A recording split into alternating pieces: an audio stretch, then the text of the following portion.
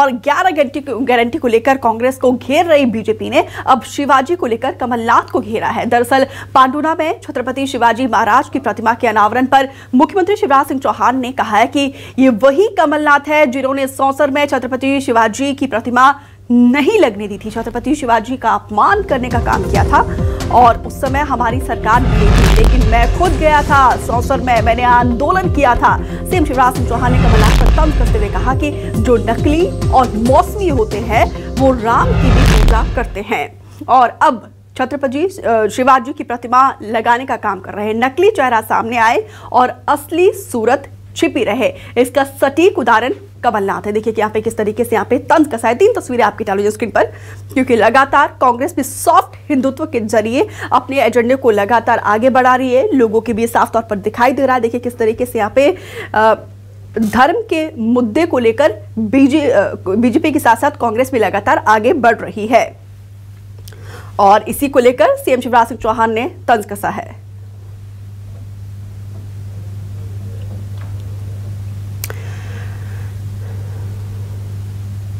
तो चलिए अब आपको बताते हैं कि अभी कांग्रेस ने दस हज़ार घरों में गंगाजल की बोतल बांटने का ऐलान किया है। पूरे प्रदेश में गंगाजल का वितरण किया जाएगा। हालाँकि अब तक ये स्पष्ट नहीं हो पाया है कि गंगाजल वितरण के पीछे कांग्रेस का उद्देश्य क्या है। गंगाजल की बोतल के साथ कांग्रेस पूर्व सीएम कमलनाथ के ग्यारह गारंटी लिखे पर्चे का भी वितरण करेगी। और अब ग्यारह शिवाजी की प्रतिमा का अनावरण करके एक और बम फोड़ने दिया है।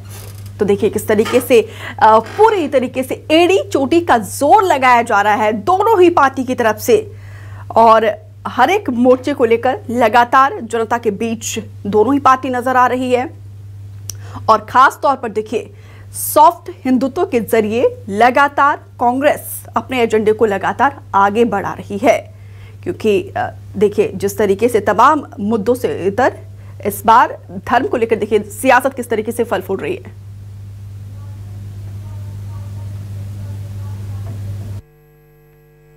इन्होंने सोसर में छत्रपति शिवाजी महाराज की प्रतिमा लगने नहीं दी थी। छत्रपति शिवाजी महाराज का अपमान करने का पाप कमलनाथ जी ने किया था। और तब हमारी सरकार नहीं थी मैं खुद गया था। मैंने वहाँ आंदोलन किया था। तो देखिए सूबे की मुखिया किस तरीके से यहाँ पे कटाक्ष करते हुए नज़र आए